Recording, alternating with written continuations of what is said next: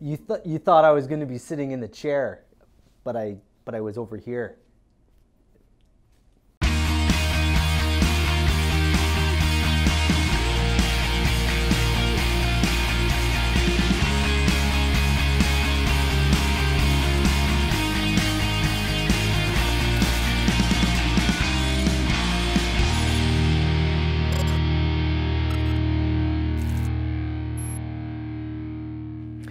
Hey everybody, I'm Andy the Kenworth Guy. Thanks for coming by the channel today. I appreciate you taking the time to watch this week's video.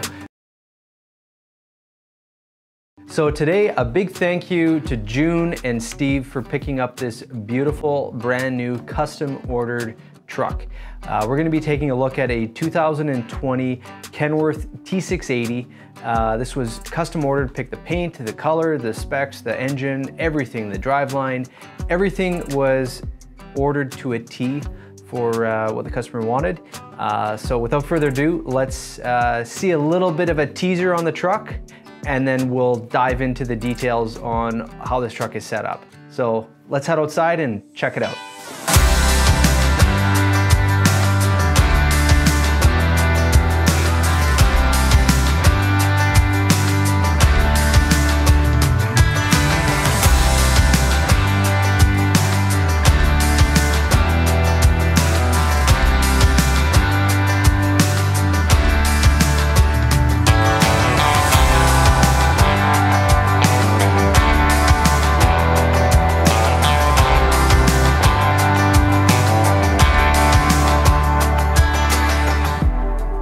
So what did I tell you? We got a real looker here. This is a beautiful, custom ordered, custom specced out T680.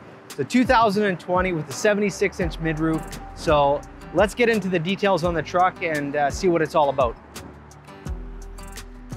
All right, so looking right up at the front here, just love the background, love the, uh, the clouds in the sky, just makes look really cool. This is a really cool shot here. We got some neat pictures of this here when it's all done and that sun sparkling off all that chrome. Woo-wee, love it. uh, all right, so looking up front here, we did a few different options uh, to put some chrome bits all over this. Uh, right here we have the chrome bumper. It is a two-piece design. So right down the middle here, there is a seam. So if you do damage one side, you can replace without having to do the whole thing. Uh, we have the standard aluminum metal mesh grill with the chrome shroud around it. Uh, we also put on a aftermarket stainless steel bug deflector. Uh, we also put on the hood mirrors, which gives you a little bit better visibility down the side of the truck so you can see what's going on. And those are in chrome. Uh, they can come heated as well. I don't remember if we put heat on there or not. Uh, and they are a breakaway design too, so you can basically fl flip them down if you, uh, if you so choose. Uh, as far as the hood, it's the, the standard hood. Uh, comes with the chrome around the air intake. And we also did the chrome mirrors, which are optional. They come standard painted. Uh, we did the partial chassis fairings all the way to the back, but what's a little different about this truck is we put on a battery access. Uh, so right here, give that a turn, and then you have access to your battery box. Uh, so you don't have to order the, uh, or sorry, you don't have to remove the whole side of the, uh, the chassis fairings here you can just access them right there. So it's a lot easier to gain access to them. uh, here's your def tank. Uh, I believe it's a 27 gallon on this truck. Uh, we ordered two fuel tanks. Uh, we have the 110 here, 135 on the other. They line up pretty evenly. And we also order the mechanical anti-roll. Now, what the mat, let me explain this to you here. What the anti-mechanical roll is, uh, you have your fuel tank, and in the bottom of the fuel tank, there's two support brackets when you order the two inch strips, uh, uh, straps rather. And those support brackets have a bar running across, and through that bar, there's a bolt. And that bolt helps to prevent the fuel tank from spinning and the rubber gasket between the strap and the tank from coiling up, and then you get gunk and junk in there, and, and it will cause your fuel tank to leak over time. So it's a very inexpensive option, like less than 100 bucks, and you can put that in there from the factory. Uh, mechanical anti-roll, don't forget that when you're ordering the two inch straps. Let's get back into it. So as far as the rest of the truck here, like I said, this is a 76 inch sleeper. We will take a look inside here shortly. We did uh, the emergency doors on both sides with the windows, come standard with the jockey door below. And uh, something I'd love to see happen is uh, the keyless entry would activate this here. But uh, for now, it's a manual uh, lock right there. So I don't know what's going on with the colors here. It seems like kind of weird. Anyways, uh, looking at the rest of the truck here, we have dual exhaust up the back of the sleeper. Really nice to see that. It's a little bit more weight, but uh, looks a lot cooler. And if you are idling the truck, which isn't really recommended, uh, you do have uh, the, the exhaust going out the top and not underneath the cab. And with this configuration, both exhaust pipes are connected. So something to, uh, to consider if you're wanting to have that, uh, both exhaust pipes connected. Here's your, your access steps. We have stainless quarter fenders. We have the polished uh, rims. So you have three levels of polish. I'll explain that here. Uh, level one is just your standard uh, buffed aluminum. So it's, uh, it's shiny, it's not a mirror finish. Then you have level one, uh, that's a, uh, that, sorry, you have level one, which is your standard shiny machine finished. Then you have uh, the next level, which is a standard polish. Uh, you pay a little bit extra for that one where the, the rims are actually polished up. And then you have the Durabrights. Now I think the polished rims get to be a little bit shinier because uh, you can put a cutting wheel to them and, and, really shine them up, get a perfect mirror finish on them. The Durabrights are nice because you don't have to repolish them for years to come, just soap and water, but just a good, better, best option depending on what you like. If you want to polish or if you don't, there's options for you. Let's get back into it. Okay, uh, at the back here, we have the Bridgestone M710s. Uh, as far as the tires, uh, they are wrapped around the aluminum rims and they're mounted on the Kenworth AG400 8-bag air ride suspension. This comes in a 40,000 pound and a 46,000 pound rating. As far as the fifth wheel, right here is, is the FW35, a 7.8 inch ride height, and it sits around 47 inches from ground to the top of the plate. So that works for most uh, fleets that are out there. As far as uh, the rear ends here, we have the Meritor differentials. Uh, we got drum brakes all the way around on the truck, and uh, the truck has 336 gears. On this side here, we have uh, open access. You can install an APU, and then there's a larger fuel tank. And here is the exhaust port for the factory installed uh, heater. Sorry about the wind here. It's a beautiful day, a little breezy, but I hope the audio is all right. Um, quarter fenders over here, of course. Now it comes standard with this rubber piece along the bottom.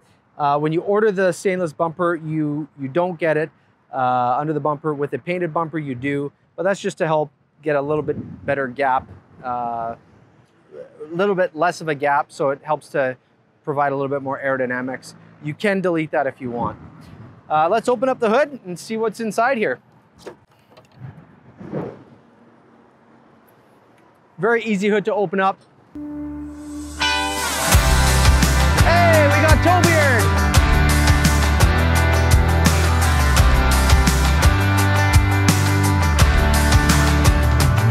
All right, uh, I guess the problem about having the video up front here is there's a lot more traffic and a lot more distractions. So it's always nice to visit with friends, but uh, let's get back into the video here. so uh, I don't know what I've said already about this, but uh, we'll just kind of start over. So here we have the PACCAR MX-13. It's the 510 horsepower, 1850 foot-pounds of torque, pound-foot of torque, foot-pound, pound-foot, I don't know, 1850 torque. Uh, on this side of the engine here, we have your engine oil fill, your check, your power steering, your washer fluid, uh, fuel water separator, fuel filter, fuel, uh, fuel primer pump. Uh, we got some fuses right up there. And then uh, here's a little hydraulic reservoir for the clutch because it's an air assisted hydraulic clutch. Something a little different about this truck is it has air ride front axle. So this is a 13,200 pound capacity uh, mounted on a 13.2 uh, axle, spring, airbags, and brakes, which are drum brakes. Let's go around the other side and take a peek. So over here we have the turbo, we have your fuel filter, sorry, your oil filter, your oil spinner, the centrifugal or fugal or oil spinner. Uh, there's your rad coolant, and then your airbags over here. Uh, air system for the interior of the truck. This is your HVAC, uh, and then your air filter right there. You just pull that open, and there it is. Easy peasy. Um, your air filter for the engine is mounted up high there, and there is a filter minder right there so you can see if that's getting plugged up. We'll close up the hood here and uh, take a look inside.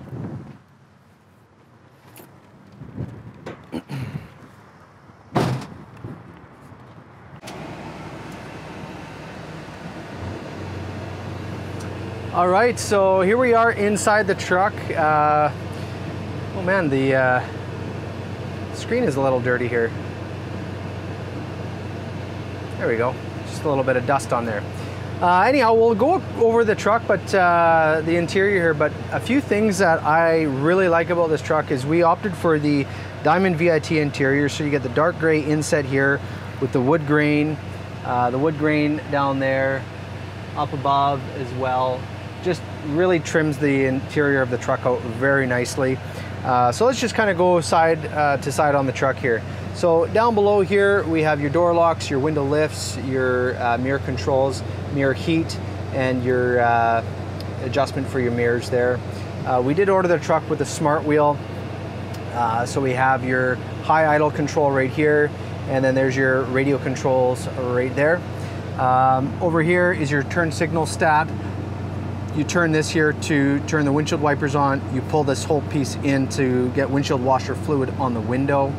Um, down here is your, your interior brightness. Uh, as you can see here, that's to adjust how bright you want the dash lights to be. Uh, this is your interior lights and your exterior light test. Here's the lights on the side of the sleeper extender. Uh, so that's just to see down the side of your trailer. Uh, your standard gauge cluster right here. Uh, over here is your trailer brakes and then your Jake brake is right here. So just as you pull that back, you can see the lights uh, go up on the dash right up there. Uh, your engine fan, which is running right now because I have the AC pumping uh, on the truck. It's a very warm day out.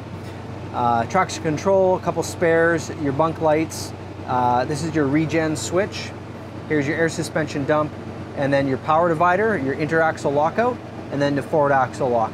This is the uh, PTO switch and uh, your fifth wheel slide. Now this guy right here, this is to adjust uh, the display so you can see your fuel economy reports and any engine faults, etc. Uh, there's the Nav Plus system and then your gauges right there. Uh, we ordered to fill the gauges and then your auto climate uh, control right there. And then here's all your lights for exterior. You have your driving lights, your clearance lights, trailer clearance lights, and fog light switch. Uh, so that's a little bit about that. Uh, now these seats are a little bit different, uh, a little special. We did the cooled and heated. So these have uh, both functions on there. So you got the cooled seats so you can cool down the butt if you need to. Uh, this seat here is a leather, they're both leather seats. Uh, they're the GT703 series. So uh, we'll just show you how the whole function of the seat works. As you can see there, that is the uh, to let the air back in the seat and it kind of rests back to the last setting. This is to adjust the shock. This is to adjust uh, your height. And then you have your three lumbar supports as opposed to the standard two with the GT702. Uh, jumping back over here, it has the manual 18-speed uh, transmission. So as you can see right there, that's uh, what we ordered. Uh, the truck has two other things on the seat down here. Between the seat, there's adjustment for the tilt. And then this is adjustment for the seat cushion itself. If you want to have a little bit more or a little bit less, and then adjust the tilt right there. Um, just gonna put the seat down here. All right, with a few moves of the seat here, you can swivel the whole piece around. So I'll show you how you do that. First, you wanna slide it forward a little bit, but not too much, otherwise you're gonna hit it right there. And then you just slide it again, slide it back, and then the seat swivels all the way around. You can recline the seat back, put your feet up. Uh, you can also grab the TV mount right here and pull that out so you can watch TV if you want. Uh, the table does flip out, so it is a flip out style table right here. So a little dusty yet. Gotta wipe that down. There we go. Clean it up a little bit more. Um, so this is a really nice spot to sit down if you wanted to do some paperwork, uh, have some, some supper or some lunch or breakfast, any food item that you'd like to eat, you can sit here and eat your food item. Uh, lots of different things that you can do at a table. Tell me what your favorite thing to do at a table is. Actually, don't bother. Um, so we'll flip that out of the way. Right down here, you have two drawers. Uh, these are tub style drawers with this little rubber gasket running down the side here. Uh, that's just to help keep that nice and snug. You can see that gasket get compressed. And when the, when the door is closed, it just keeps a little bit of pressure there so they're not gonna rattle and or shake. Same thing with the bottom one down there. We ordered carpet throughout, uh, so that's a nice little function there.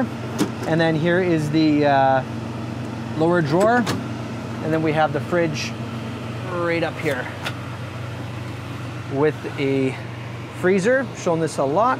This top piece here can come out uh, and then gives you a little bit more height inside the fridge if you'd like to have more room.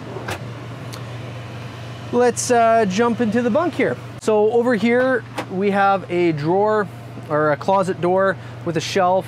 Uh, we got the mirror and then the storage pockets on the door. So that's, uh,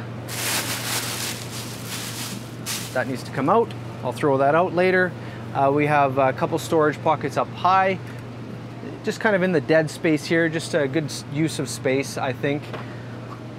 On the other side here, we have a spot for the microwave. Uh, you have a 12 volt outlet there and another one down below. There's another piece. And then a little storage pocket up top there and there. Now there are curtains that separate the bunk uh, from the cab right up top.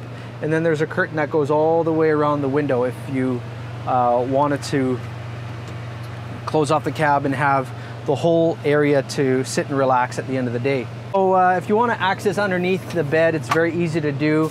Uh, you just move the table out of the way and then down below here, there is a little latch. You lift that up and then you have access underneath of the, uh, the bunk.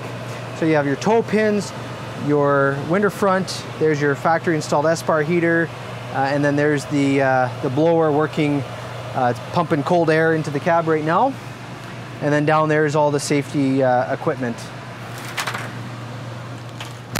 Close that up, flip that over, and then there is an upper bunk. And when you do order the Diamond VIT interior, obviously you get the diamond tuck uh, all the way around the back wall, on the back wall here, on here. Uh, the roof line is the same on all interiors. You even get the diamond interior on the inside of the plastic here. Yeah, that's a stretch, Andy. All right. so that's a little bit about the interior here. So, all right, so thanks for coming by the channel today to check out this truck. Again, a huge thank you to June and Steve uh, for coming all the way across Canada to buy this truck for me. Uh, certainly appreciate you putting your trust in me to help you. Uh, if you haven't had a chance to subscribe to my channel, I'd encourage you to do so. Uh, that's a gentle way of saying please subscribe. Uh, just hit that little button down in the bottom corner here. Uh, give it a thumbs up if you like the video. Check out my website, Andy the Kenworth Guy, thekenworthguy.com. Uh, you can see what we have for inventory. I'm working for Inland Kenworth here in Winnipeg, Manitoba, Canada. Uh, if you need a truck, I'm your guy to help you. So look forward to seeing you on the next video. And as always, have yourself the world's best day.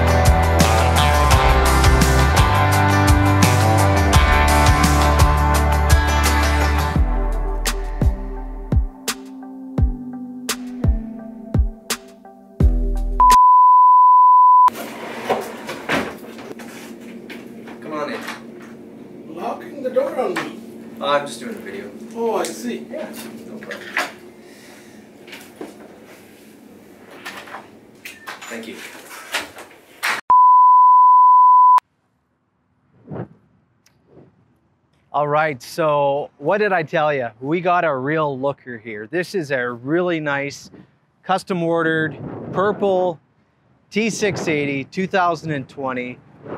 She looks beautiful. There's another airplane taking off.